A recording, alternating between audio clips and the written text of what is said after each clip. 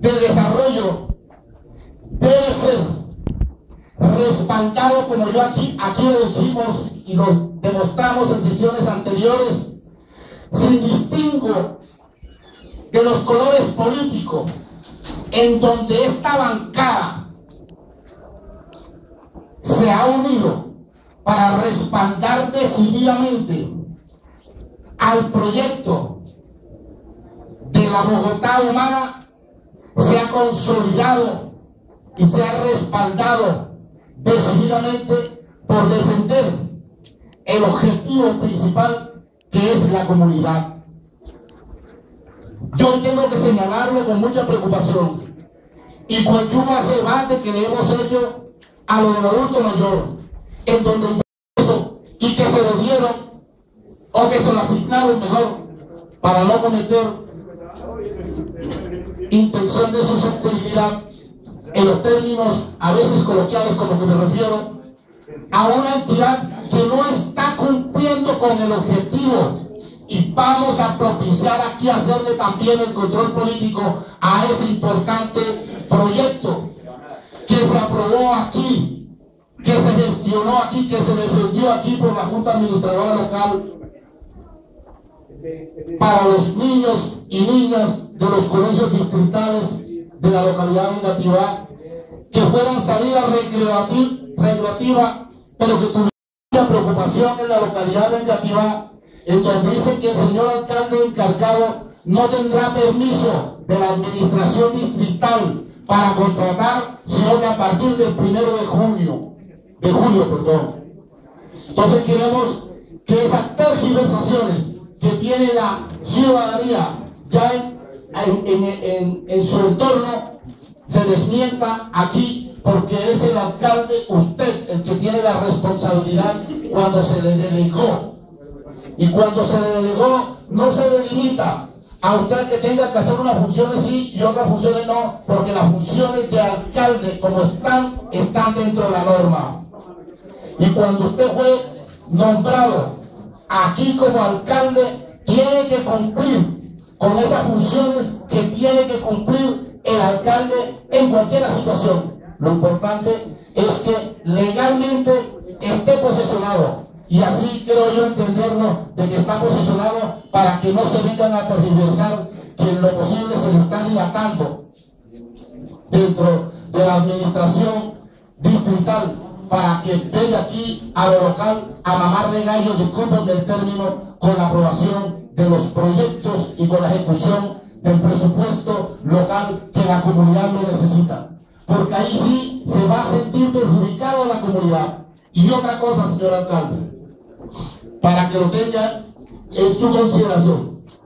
Si aquí ha habido muchas denuncias sobre mis compañeros ediles y como las que va a haber sobre funcionarios que han hecho las ejecuciones de una forma irregular, se les tenga también en cuenta porque aquí queremos en esta administración de la Bogotá Humana son personas comprometidas con el proyecto, comprometidas con el proceso, personas que en realidad tengan el sentido de pertenencia, personas que estén por fuera de la corrupción, como se lo dieron a demostrar en otras administraciones o en otros aspectos de la contratación, y no queremos esa clase de personas aquí.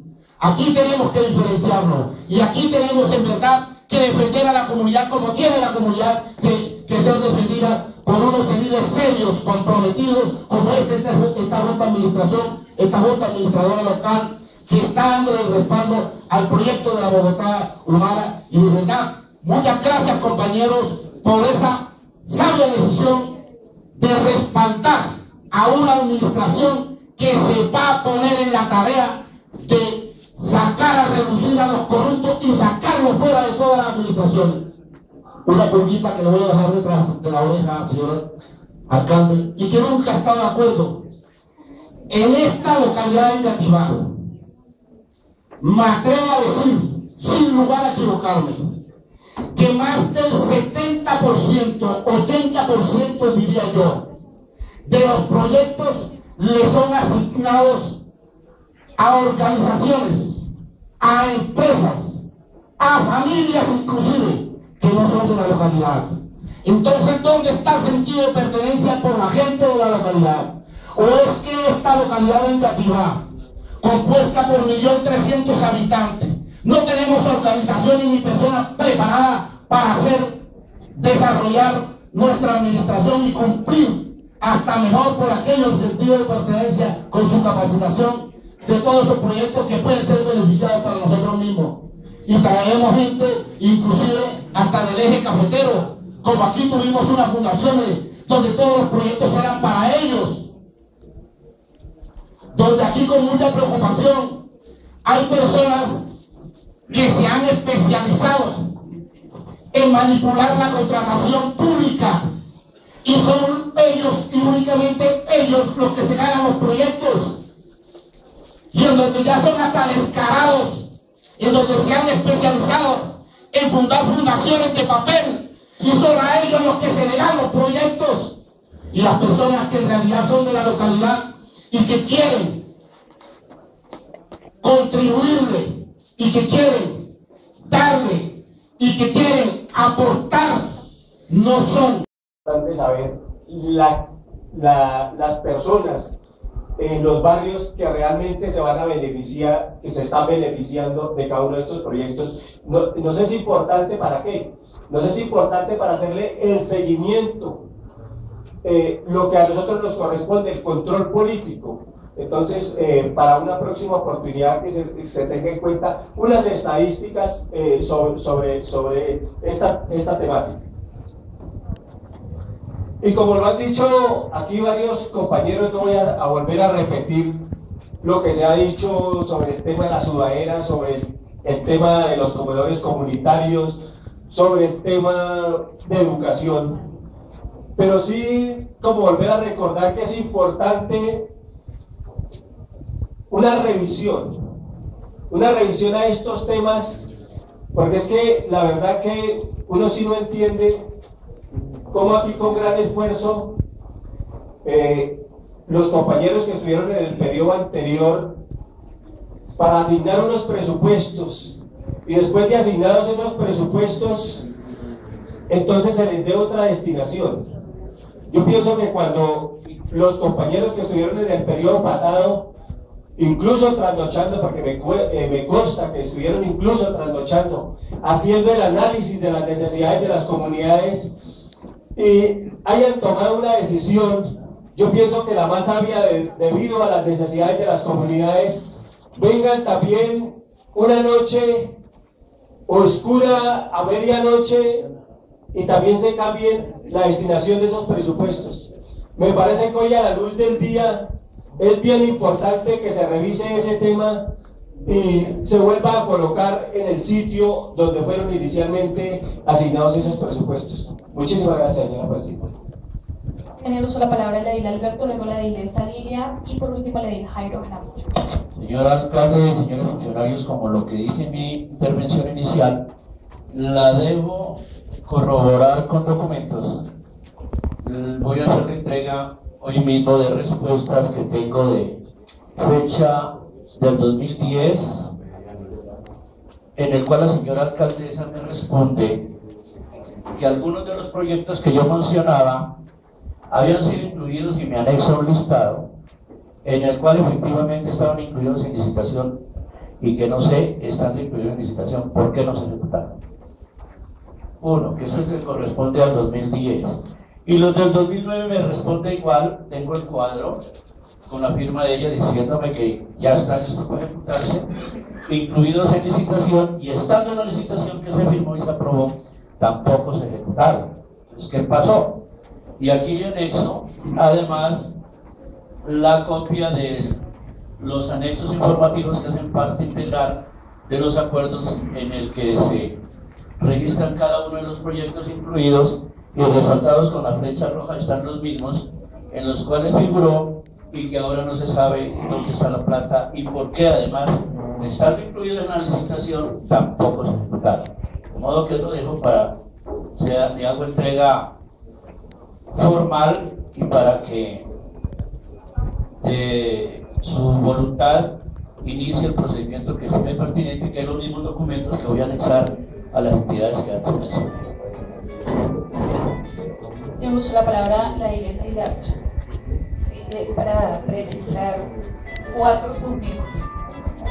El primero de ellos es que lástima que se fue la Dilana Elsa, porque es que yo quiero perfectamente que quede claro que yo me alejo, me aparto totalmente de su opinión sobre el tema de la estrategia alimentaria. No es mi postura. No sé si la de otros compañeros lo será, pero la mía no es. Jamás pediré que se acaben los comedores comunitarios y que se pase solamente a refrigerios escolares. Me parece que hay un asunto que yo no compartiré jamás.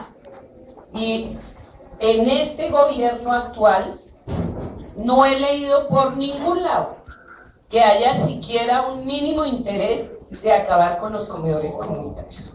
De manera que me aparto totalmente de esa opinión que dijo pues que ella generalizó como que en la JAL se tenía ese concepto. Ese no es el mío y creo el de muchos compañeros no lo es. Bueno, a mi compañero Morgan es decirle una sola cosita en su intervención que igual yo no, no, no comparto.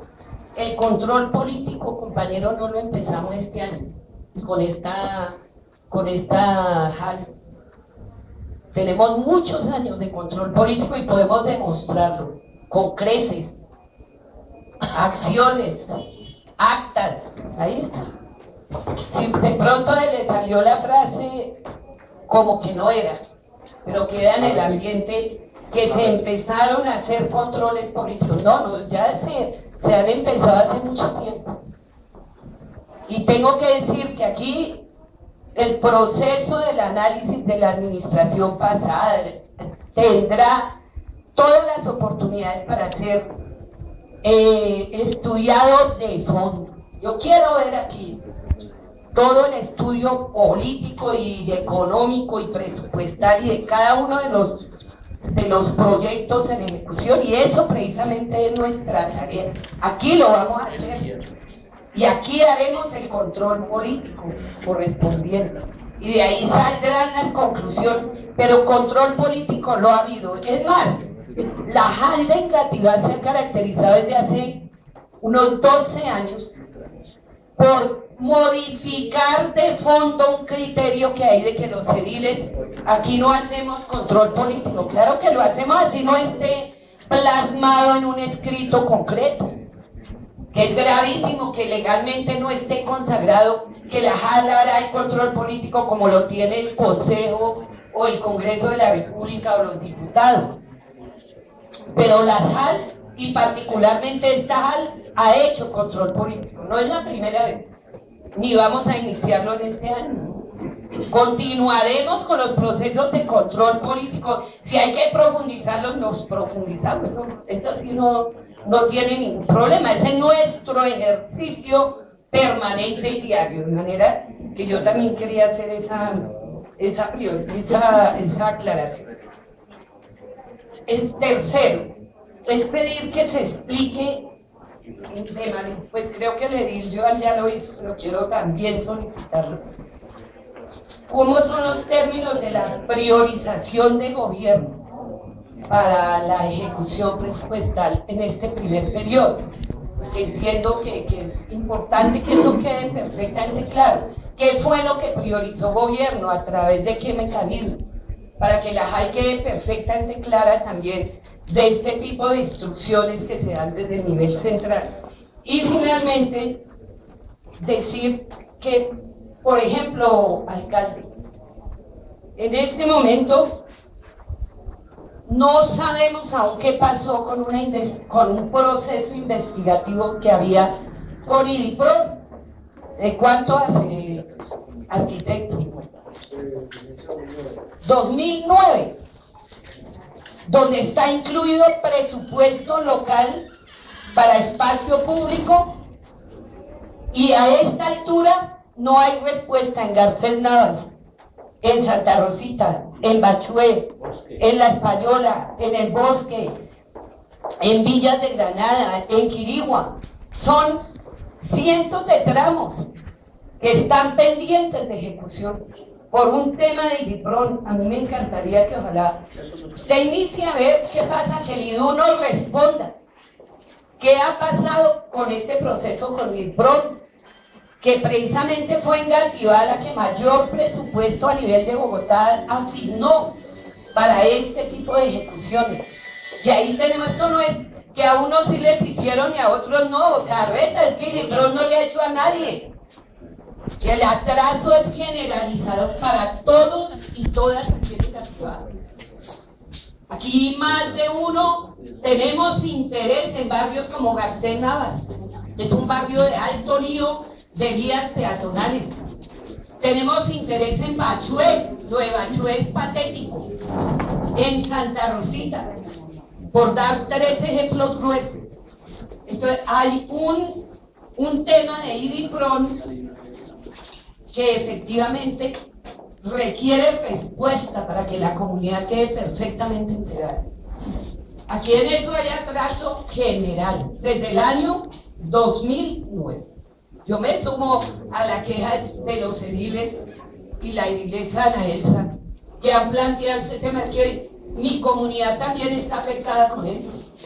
Y tengo una carpeta así de documentos enviados al IDU, eh, sobre el tema del DIPROM pidiendo claridad sobre esta materia. Aquí los hemos tenido sentados.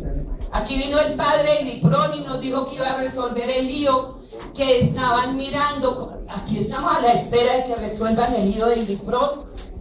Y los miles de millones de pesos que asignó esta JAL para vías peatonales está en stand-by. Ese tema, por ejemplo, es de, inmediata eh, intervención por parte de la administración.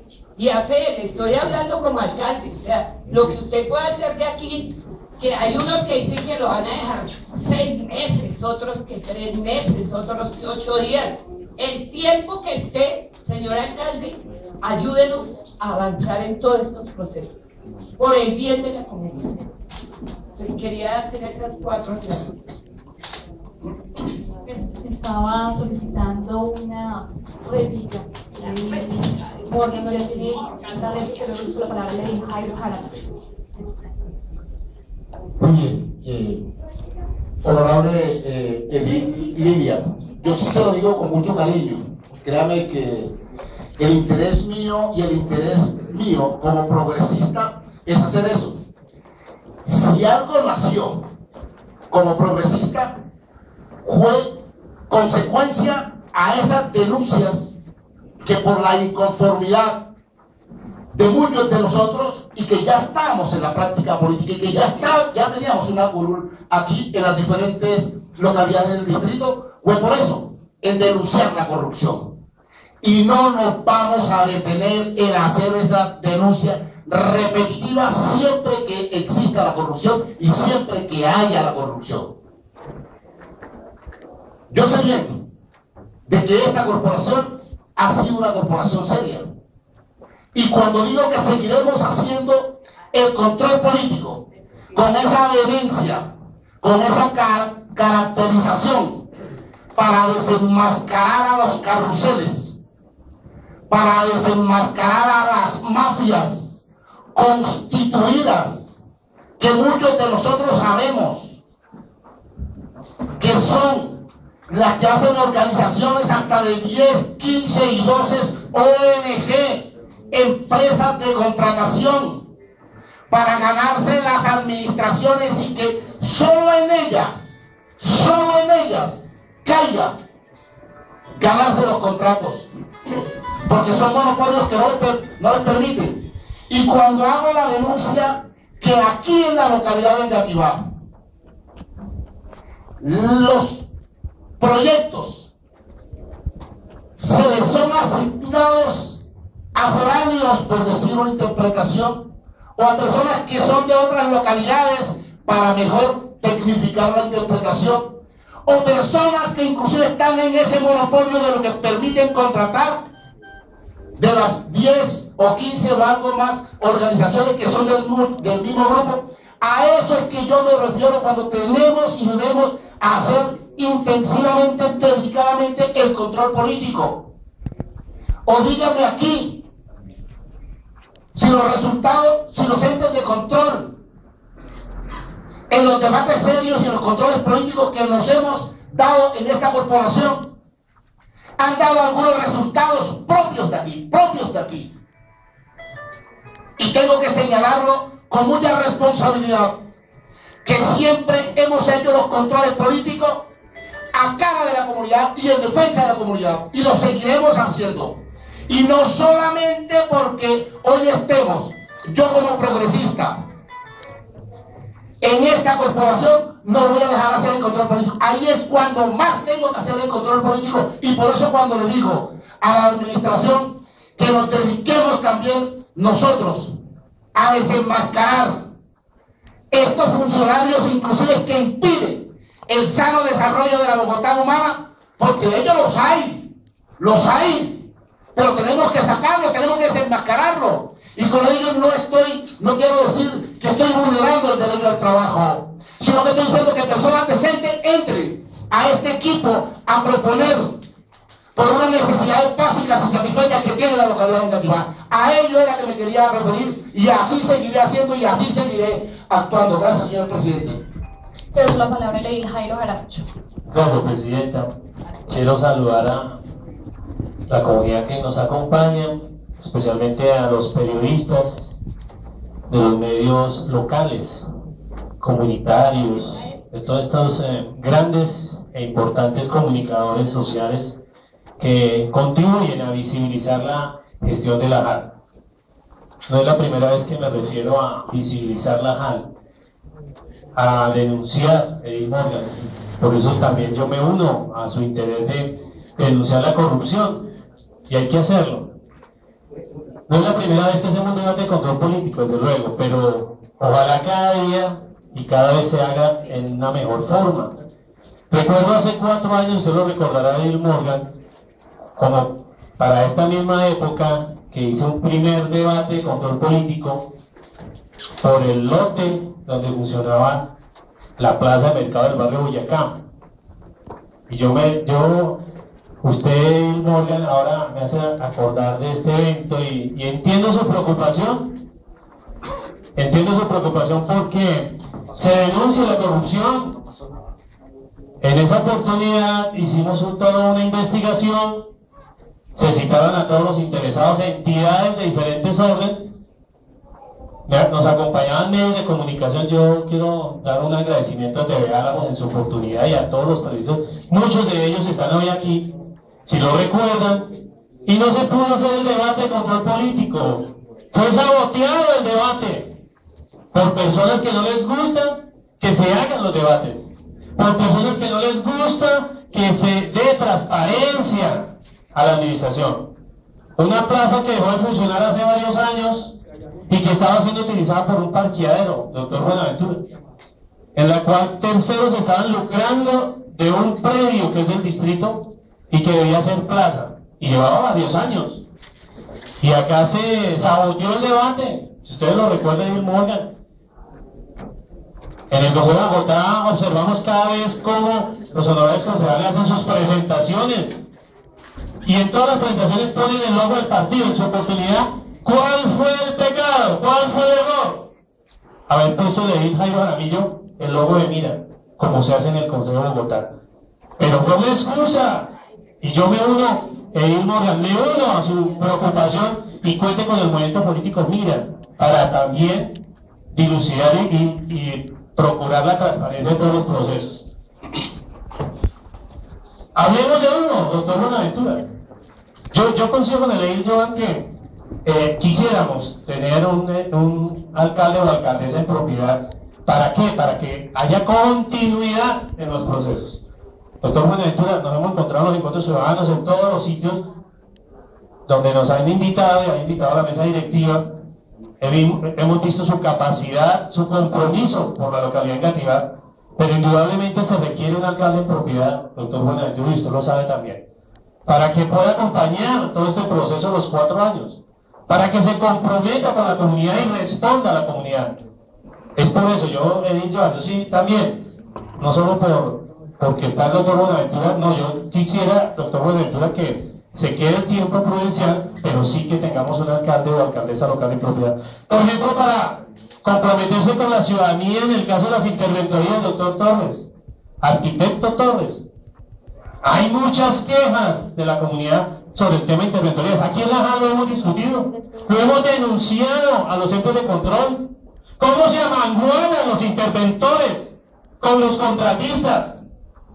¿Cómo los contratistas llegan aquí y prácticamente en los debates no son ellos los que hablan, sino los que los defienden son los interventores? Están en las actas. No es una denuncia temeraria, no, están en las actas. Los, los ediles de la corporación del, del periodo pasado incluso lo denunciamos y las iglesias. ¿Cómo un mismo interventor defendiendo al contratista? Entonces me parece que yo pienso que sí se requiere más transparencia. Me alegra que se esté pensando en mejorar las interventorías. Había un compromiso el año pasado, desde hace dos años, sobre ese tema de las interventorías y yo quisiera, doctor Buenaventura, que usted se pusiera al frente si está contratando interventoría. A mí me preocupa, me preocupa porque eso es lo que denuncia la comunidad.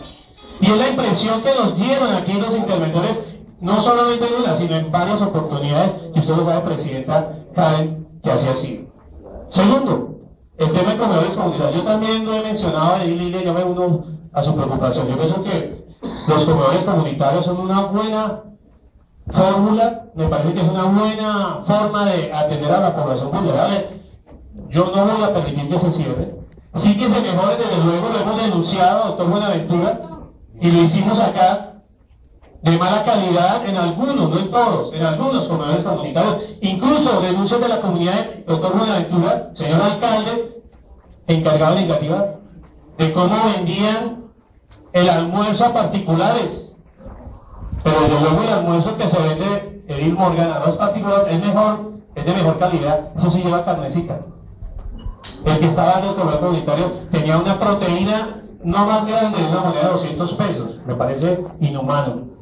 Y ahora que empieza la Bogotá humana, bancada de progresistas, yo pienso que eso tenemos que mirar. Pero se necesita que haya personas que lo estén usufructuando, que estén haciendo mal uso del, del comedor. Hay personas que sí lo necesitan, los adultos mayores, por ejemplo. Personas en condición de discapacidad lo necesitan.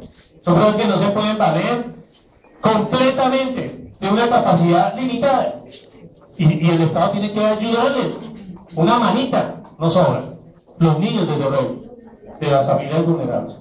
De pronto personas que tienen en un momento dado una dificultad, como a todo el mundo le puede pasar, que se hayan quedado sin empleo por uno, dos o tres meses, ese servicio les puede ayudar a volver a coger mientras vuelven y cogen una, una forma productiva de, de salir adelante. De luego no caigamos en el asistencialismo por sí, sino para la población vulnerable, sí, comedores comunitarios. Tercero, yo estoy muy preocupado de cómo avanza la ejecución arquitecto Torres en el tema de malla vial. El año pasado se hizo una licitación de más de 6 mil millones para todo el, el tratamiento, incluso una vez el año pasado, antepasado creo, para vigencia 2011 y todavía estamos atrasadísimos en esa ejecución o Espero que usted ahora nos informe cómo avanza, pero me parece que la localidad requiere mayor dinamismo. No sé si fue la demora por todo el proceso licitatorio, usted nos explicará desde luego, pero me parece que la malla vial de Engativá requiere mayor intervención y mayor agilidad.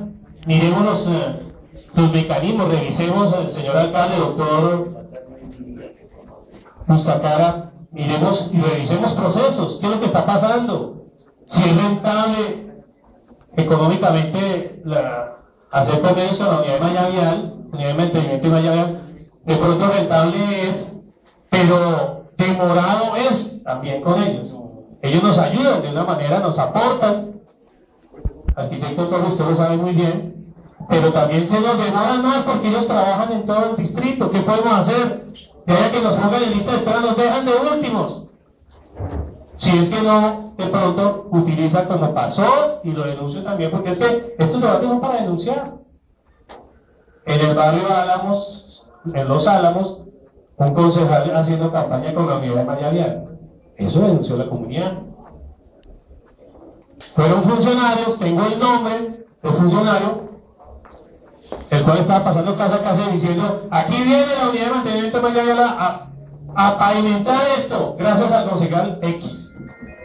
¿Ese de quién no salió? Esa X no salió. Pero luego hablé con el funcionario y, y cuando ya fui a hablar con él, me negó todas las cosas, desde luego. Al otro día ya no estaba el funcionario en ese mismo sector. Entonces, ¿qué pasa? Pues yo, bienvenido a la transparencia, Irma, bienvenido.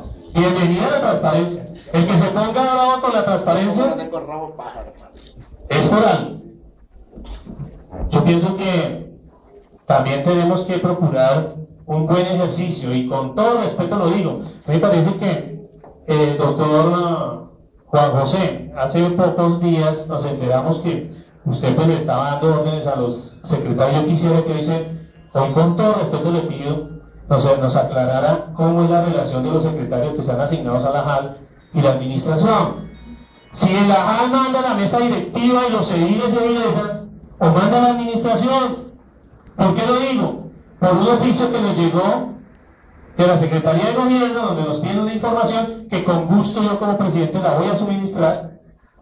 Algunos ediles se molestaron porque nos pidieron mucha información. Yo no creo que haya problema. Por transparencia, yo lo voy a, contestar y voy a suministrar. Lo que me quieran dar, los ediles, si me quieren dar la hoja ahí nos piden la hoja de los que quieran, lo que quieran. Pero sí voy a pedir un poco de respeto, doctor Juan José, en el sentido de que, por favor, aclárenme si son asignados a la JAL y si el jefe inmediato de la mesa directiva de la corporación. Porque es que una secretaria se puso a preguntarle y a pedir información a los ediles sin que esa información se hubiese aprobado acá en la corporación. La JAL tiene unos mecanismos. La mesa directiva misma, el presidente y el vicepresidente, se sujeta a la plenaria de la corporación. Si los ediles dicen no vamos a presentar esa información, pues no la presentamos. Pero no pasemos, doctor Juan José Gustacara, por encima de la Yo le pido con todo respeto. Hoy me, hoy me llegó un memorando, le digo a los colegas ediles ediles, acaba de llegar un memorando del jefe de sistema de la, alcaldía local. En mi vida jamás me han pasado un memorando. Yo me llegó el primero, el jefe de sistemas, un oficio firmado por el señor Armando Rincón Bernal, administrador de sistemas, proyectado el oficio por Armando Rincón, revisado y aprobado por Armando Rincón. El nos dice que tenemos que tener los computadores a tal hora de tal día. Memorando. No, pues, yo me voy a preguntar, yo pregunto, yo pregunto, quizás que estoy totalmente desacertado en lo que es una administración y en la autonomía que tiene una corporación pública elegida por voto popular. Entonces a mí me parece que una cosa es una cosa y otra es otra. Con todo, con todo respeto y, desde luego yo voy a responder ese oficio que, que pasado incluso tarde porque este señor Néstor García Buitrago, director del DSAM, nos manda una carta pidiendo una información que le entreguemos el 14 de mayo y la carta nos llegó el 15. ¿Qué está pasando? Yo pienso, ir Morgan, y que es, es, necesario que sí mejoremos algunos procesos y lo pido con todo respeto. Memorandos para la... Uno conoce hechos de corrupción, eh, uno debe denunciarlos y no enunciarlos. Porque es que hay una gran diferencia entre denunciar y enunciar. Entonces, yo recuerdo que por ahí como desde mediados del mes de enero, siempre viene diciendo que denuncia y denuncia y denuncia. Eh, yo sí quisiera que en algún momento nos dijera, oiga, mire, aquí están los radicados donde he denunciado, en los entes de control donde corresponde denunciar a fulano y a sutano, con nombre propio. O sea, cuando uno, cuando uno denuncia, uno no debe darle miedo denunciar al que sea. Yo lo decía que día. Yo tuve que denunciar a, varios directores de Postal y a varios funcionarios de Postal. Y yo sí cogía los documentos, inclusive se, se los pasaba a los trabajadores y no me daba miedo. Entonces, uno cuando, uno cuando dice que denuncia, pues es con, con hechos que dice que, que denunció y no, y no decir que denunció. La otra cosa que le quiero pedir con mucho respeto es que yo sí como edil y como colega suyo, eh, no soy razonero ni mensajero. Porque es que usted dice que le digan a la iglesia Lidia Bella, pues ahí la tiene, dígale de frente. Porque es que yo sí, yo sí para eso no me presto, ni para razonero ni para mensajero de nadie. Eh, frente a las hojas de vida, yo sí frente a las hojas de vida no tengo ningún problema. La agenda de, de temas. A mí, a mí eso de que me pidan eh, una información de las hojas de vida no me da pena porque si en mi hoja de vida solamente dice que le, que le dije a Germán Moreno eh, solamente sabe leer y escribir, a mí no me da pena decir que eso solamente sé leer y escribir. Yo a eso no, a, a eso no le veo ningún problema. Ni jamás me dará pena decir que solamente sé leer y escribir. Entonces, eh, bajo esa perspectiva, yo sí eh, pongo a disposición de quien sea mi hoja de vida sin ningún problema y sin ningún reparo. Porque